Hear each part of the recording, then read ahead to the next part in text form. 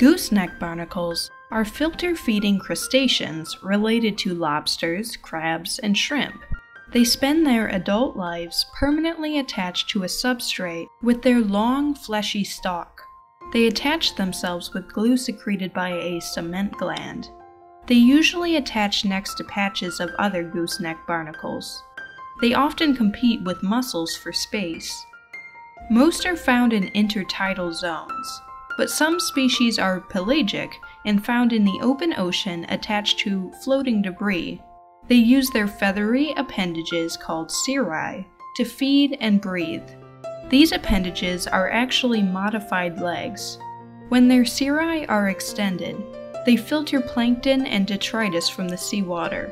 They bring the cirri back into their shell to scrape off the food.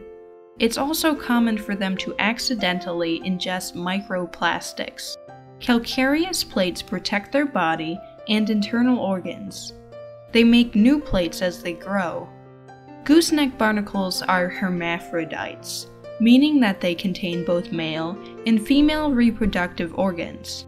They still rely on other barnacles to fertilize their eggs. The fertilized eggs are incubated then, hatched larvae are released into the ocean. They drift with the current and eventually find a suitable area to attach for their adult life. Some species can live for 20 years. Gooseneck barnacles have many predators like seabirds, sea stars, and nudibranchs.